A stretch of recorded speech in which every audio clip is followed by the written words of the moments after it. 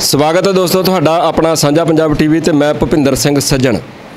ਦੋਸਤੋ ਕੋਈ ਨਵੀਂ ਗੱਲ ਨਹੀਂ ਹੈਗੀ ਜਿਹੜੀ ਅੱਜ ਕਰਨ ਜਾ ਰਹੇ ਹੈਗੇ ਆ। ਅੱਜ ਤੋਂ ਪਹਿਲਾਂ ਵੀ ਇਸ ਮੁਲਕ ਦੇ ਵਿੱਚ ਇਦਾਂ ਦੀਆਂ ਘਟਨਾਵਾਂ ਵਾਪਰਦੀਆਂ ਨੇ, ਜਿਸ ਘਟਨਾ ਦਾ ਅੱਜ ਆਪਾਂ ਜ਼ਿਕਰ ਕਰਨ ਜਾ ਰਹੇ ਹਾਂ ਦਰਅਸਲ ਪਿਛਲੇ ਦਿਨੀ ਰਾਜਸਥਾਨ ਦੇ ਵਿੱਚ ਇੱਕ ਘਟਨਾ ਵਾਪਰਦੀ ਹੈ, ਇੱਕ ਨੌਜਵਾਨ ਜਿਹੜਾ ਕਿ ਦਲਿਤ ਭਾਈਚਾਰੇ ਦੇ ਨਾਲ ਸੰਬੰਧਿਤ ਹੈ, ਕਿਉਂਕਿ ਉਹ ਬ੍ਰਾਹਮਣਵਾਦ ਦੇ ਮੁਤਾਬਕ ਕਈ ਜਾਂਦੀ ਛੋਟੀ ਕਾਸਟ ਦੇ ਨਾਲ ਸੰਬੰਧਿਤ ਹੈ ਔਰ ਬੜੀ ਟੌਰ ਦੇ ਨਾਲ ਰਹਿੰਦਾ ਹੈ।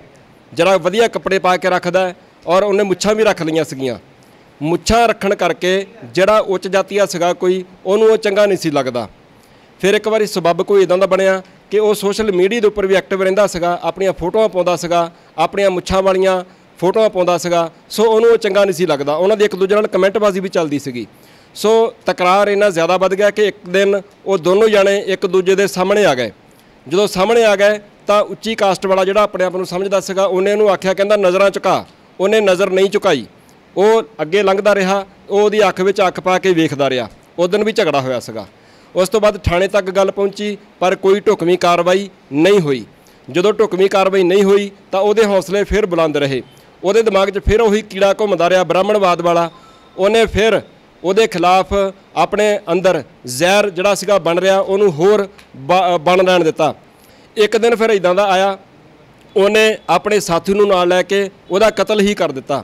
ਸੋ ਇੱਕ ਦਲਿਤ ਨੌਜਵਾਨ ਭਾਰਤ ਦੇ ਵਿੱਚ ਸਿਰਫ ਇਸ ਕਰਕੇ ਕਤਲ ਕਰ ਦਿੱਤਾ ਗਿਆ ਕਿਉਂਕਿ ਉਹਨੇ ਮੁੱਛ ਰੱਖੀ ਹੋਈ ਸੀਗੀ ਤੇ ਆਪਣੀ ਜ਼ਿੰਦਗੀ ਨੂੰ ਟੌਰ ਦੇ ਨਾਲ ਜਿਉਂਦਾ ਸੀਗਾ। ਆ ਹਾਲਾਤ ਨੇ ਇਸ ਮੁਲਕ ਦੇ 74 75 ਵਰੇ ਹੋ ਗਏ ਨੇ ਇਸ ਮੁਲਕ ਨੂੰ ਆਜ਼ਾਦ ਹੋਇਆ, ਪਰ ਉਹਦੇ ਬਾਵਜੂਦ ਅੱਜ ਤੱਕ ਵੀ ਇਦਾਂ ਦੀਆਂ ਘਟਨਾਵਾਂ ਅਕਸਰ ਹੀ ਪੜਨ ਅਤੇ ਸੁਣਨ ਨੂੰ ਮਿਲਦੀਆਂ ਨੇ ਔਰ ਇਹ ਕੋਈ ਰੱਬ ਕਰੇ ਅਖੀਰਲੀ ਘਟਨਾ ਹੋਵੇ। ਪਰ ਜਿੱਦਾਂ ਦੇ ਹਾਲਾਤ ਹੈਗੇ ਆ, ਸਰਕਾਰਾਂ ਦੇ ਹਾਲਾਤ ਹੈਗੇ ਆ, ਲੱਗਦਾ ਨਹੀਂ ਪਈ ਇਹ ਘਟਨਾ ਅਖੀਰਲੀ ਹੋਊਗੀ। ਸੋ ਉਸੇ ਹੀ ਗੱਲ ਨੂੰ ਲੈ ਕੇ ਅੱਜ ਹੁਸ਼ਿਆਰਪੁਰ ਸ਼ਹਿਰ ਦੇ ਵਿੱਚ ਹੈਗੇ ਆ, ਪ੍ਰੈਸ ਕਾਨਫਰੰਸ ਸੱਦੀ ਗਈ ਸੀਗੀ। ਸਾਂਝਾ ਫਰੰਟ ਵੱਲੋਂ ਮੇਰੇ ਨਾਲ ਕਰਨੈਲ ਸਿੰਘ ਲਵਲੀ ਜੀ ਹੈਗੇ ਨੇ, ਲਾਰੈਂਸ ਚੌਧਰੀ ਜੀ ਹੈਗੇ ਨੇ, ਬਾਕੀ ਵਿਕਾਸ ਹੰਸ ਜੀ ਹੈਗੇ ਨੇ, ਹੋਰ ਸਾਰੇ ਸਾਂਝਾ ਫਰੰਟ ਦੇ ਆਗੂ ਹੈਗੇ ਨੇ। ਆਪਾਂ ਉਹਨਾਂ ਨਾਲ ਗੱਲਬਾਤ ਕਰ ਲੈਂਦੇ ਆ ਸਭ ਤੋਂ ਪਹਿਲਾਂ ਲਾਰੈਂਸ ਚੌਧਰੀ ਜੀ, ਕੀ ਕਹਿਣਾ ਚਾਹੁੰਦੇ ਹੋ ਜਿਹੜੀ ਰਾਜਸਥਾਨ ਦੇ ਵਿੱਚ ਘਟਨਾ ਵਾਪਰੀ ਹੈ ਔਰ ਅੱਜ ਤੁਸੀਂ ਪ੍ਰੈਸ ਕਾਨਫਰੰਸ ਕੀਤੀ ਹੈ ਜੀ? ਇਹ ਜਿਹੜਾ ਮਨੂਵਾਦ ਦਾ ਜਿਹੜਾ ਏਜੰਡਾ ਹੈ ਉਹ ਇੱਥੇ ਨਜ਼ਰ ਆ ਰਿਹਾ। ਜਦੋਂ ਦੀ ਕੇਂਦਰ ਦੇ ਵਿੱਚ ਭਾਜਪਾ ਸਰਕਾਰ ਆਈ ਆ ਉਦੋਂ ਤੋਂ ਐਸਸੀ ਐਸਟੀ ਓਬੀਸੀ ਤੇ ਘੱਟ ਗਿਣਤੀਆਂ ਤੇ ਹਮਲੇ ਤੇਜ਼ ਹੋਏ ਆ। ਉਹਦਾ ਕਾਰਨ ਕੀ ਆ? ਉਹ ਪੁਰਾਣੀ ਵਿਵਸਥਾ ਨੂੰ ਭਾਰਤ ਦੇ ਵਿੱਚ ਲਾਗੂ ਕਰਨਾ ਚਾਹੁੰਦੇ। ਉਹੀ ਵਰਨ ਵਿਵਸਥਾ ਦੇ ਅਧੀਨ ਸਾਰਾ ਸਿਸਟਮ ਲਿਆਉਣਾ ਚਾਹੁੰਦੇ ਆ। ਨਾਗਪੁਰ ਦੇ ਵਿੱਚ ਆਰਐਸਐਸ ਜਿਹੜੀ ਆ ਉਹ ਰਾਜਧਾਨੀ ਬਣਾਉਣੀ ਚਾਹੁੰਦੀ ਆ ਨਾਗਪੁਰ ਨੂੰ ਭਾਰਤ ਦੀ। ਤੇ ਉੱਥੇ ਜਿਹੜਾ ਮਨੋਬ੍ਰਿਤੀ ਮਨੁਸਮ੍ਰਿਤੀ ਗ੍ਰੰਥ ਉਹ ਰੱਖਣਾ ਚਾਹੁੰਦਾ। ਇਸ ਕਰਕੇ ਇਹ ਇੱਕ ਸੁਨੇਹਾ ਆ ਉਹਨਾਂ ਵੱਲੋਂ। ਜਤਿੰਦਰ ਮੇਘਵਾਲ ਦਾ ਜਿਹੜਾ ਕਤਲ ਆ ਉਹ ਭਾਰਤ ਦੇ ਸਾਰੇ ਐਸਸੀ ਐਸਟੀ ਓਬੀਸੀ ਤੇ ਘੱਟ ਗਿਣਤੀਆਂ ਨੂੰ ਸੁਨੇਹਾ ਕਿ ਭਾਈ ਤਿਆਰ ਹੋ ਜਾਓ। ਜਿੱਥੋਂ ਤੁਸੀਂ ਆਏ ਆ, ਉੱਥੇ ਲੈ ਕੇ ਜਾਣਾ ਤੁਹਾਨੂੰ। ਇਸ ਕਰਕੇ ਇਸ ਘਟਨਾ ਨੂੰ ਅੰਜਾਮ ਦਿੱਤਾ ਗਿਆ। ਨਹੀਂ ਤਾਂ ਇਹ ਇਹ ਆਜ਼ਾਦ ਮੁਲਕ ਆ। ਇੱਥੇ ਸੰਵਿਧਾਨ ਆ। ਹਰ ਇੱਕ ਨੂੰ ਖਾਣ ਪੀਣ ਦਾ, ਪਹਿਨਣ ਦਾ, ਬੋਲਣ ਦਾ ਬਰਾਬਰ ਦਾ ਅਧਿਕਾਰ ਭਾਰਤ ਰਤਨ ਬਾਬਾ ਸਾਹਿਬ ਡਾਕਟਰ ਅੰਬੇਦਕਰ ਜੀ ਨੇ ਦਿੱਤਾ। ਪਰ ਜੇ ਬਾਰ-ਬਾਰ ਅਜਿਹੀਆਂ ਘਟਨਾਵਾਂ ਹੋ ਰਹੀਆਂ, ਇਹਦਾ ਮਤਲਬ ਸਟੇਟ ਫੇਲ ਆ। ਸਟੇਟ ਸਪਾਂਸਰ ਇਹ ਸਾਰਾ ਕੁਝ ਹੋ ਰਿਹਾ। ਸਟੇਟ ਬੁਰੀ ਤਰ੍ਹਾਂ ਫੇਲ ਆ ਕਿ ਹਾਥਰਸ ਦੇ ਵਿੱਚ ਇੱਕ ਐਸੀ ਲੜਕੀ ਦੇ ਨਾਲ ਬਲਾਤਕਾਰ ਹੋ ਜਾਂਦਾ।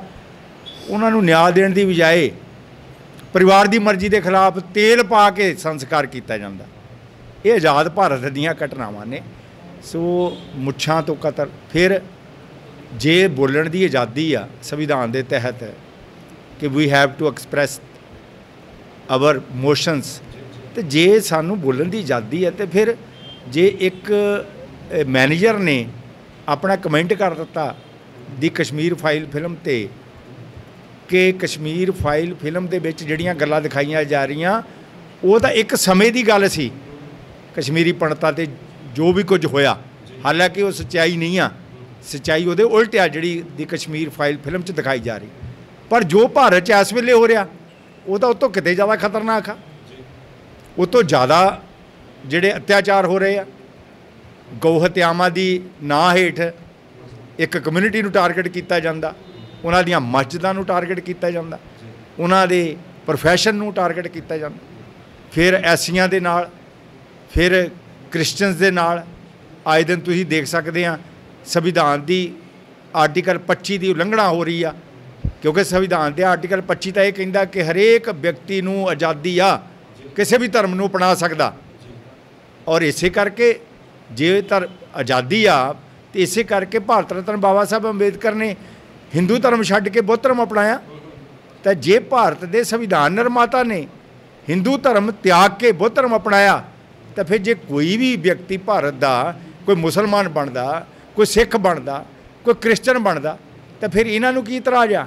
ਇਹਦਾ ਮਤਲਬ ਵੀ ਇਹ ਧਰਮ ਦੇ ਆਧਾਰ ਤੇ ਟਾਰਗੇਟ ਕਰਕੇ ਸੰਵਿਧਾਨ ਨੂੰ ਜਿਹੜਾ ਤਹਿਸ-ਨਹਿਸ ਕਰਨਾ ਚਾਹੁੰਦੇ ਆ, ਉਹ ਚ ਅਮੈਂਡਮੈਂਟ ਕਰਨਾ ਚਾਹੁੰਦੇ ਆ ਔਰ ਸਾਨੂੰ ਤੰਗ ਕਰਨਾ ਚਾਹੁੰਦੇ ਆ, ਇਸੇ ਕਰਕੇ ਕਤਲ ਹੋਇਆ।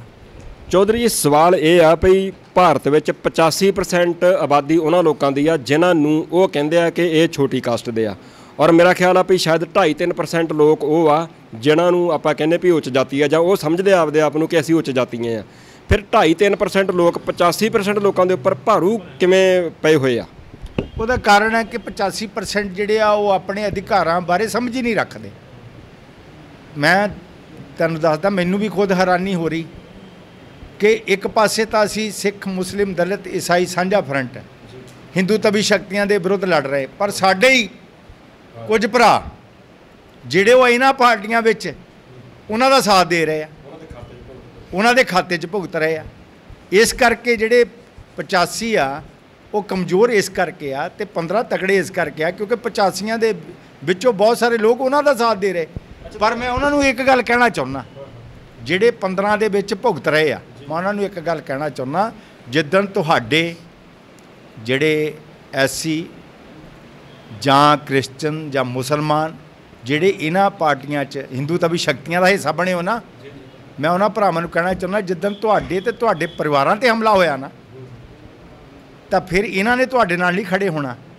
ਇਸ ਕਰਕੇ ਹਾਲੇ ਵੀ ਸਮਾਂ ਆ ਕਿ ਬਾਬਾ ਸਾਹਿਬ ਦੀ ਵਿਚਾਰਧਾਰਾ ਦਾ ਜਿਹੜਾ ਸੰਦੇਸ਼ ਆ, ਉਹਦੇ ਵਿੱਚ ਸ਼ਾਮਲ ਹੋ ਜਾਓ। ਉਹ ਕੀ ਸੰਦੇਸ਼ ਆ?